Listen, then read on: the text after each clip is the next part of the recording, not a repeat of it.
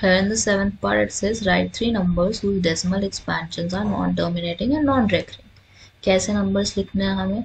एक तो non dominating होने चाहिए और रेकरिंग होने चाहिए। So we can write any zero point zero one double zero one one double zero double zero one and so on this is like a non terminating one and non repeating secondly हम क्या लिख सकते हैं? Zero point two double zero two triple zero two और anything you want to mention ठीक है? जो भी आप मेंशन करना चाहो। बस कैसा होना चाहिए?